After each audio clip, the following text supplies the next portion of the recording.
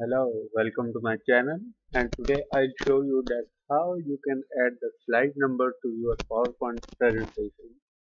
So let's start. I'll show you how you can add the slide number to your PowerPoint presentation and on each slide.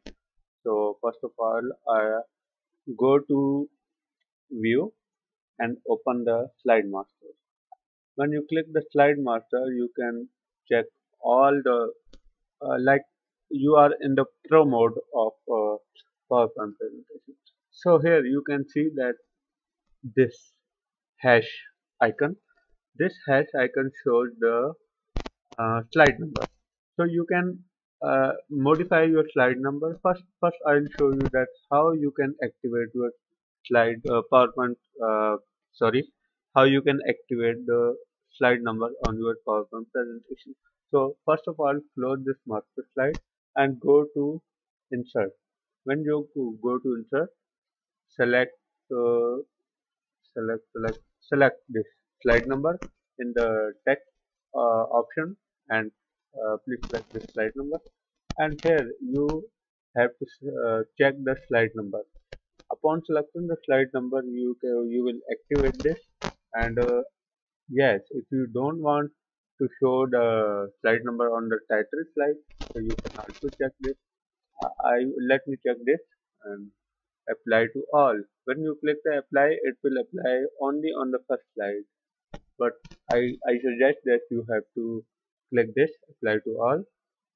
And when I insert the second slide insert the second slide it will show you the title numbers. Yay, this slide number. So if you want to uh, modify the slide number so I'll show you. Go to view and select slide master. So here this this is the place where you can modify your sli uh, slide number. So let me select home and uh, mm, bold this uh, slide number. Also you can change color. Let me select the green color and uh, a little bit increase the size.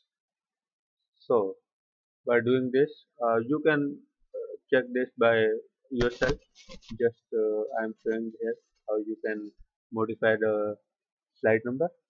Okay so now move to slide master and close the master view. Uh, you can see that the slide number is modified. Now as many slides you add into your PowerPoint presentation. It will modify each of the uh, yes. When you modified the slide number it only modified on the last slide where we modified uh, the slide number. So if you want to uh, to apply all the modification on the all slide you can first go to view then slide master and here you can modify all the like I modified this on the on this first slide. You can also modify this on this one on this one and on this one. So that's why the modified slide uh, number showed on the respective slide.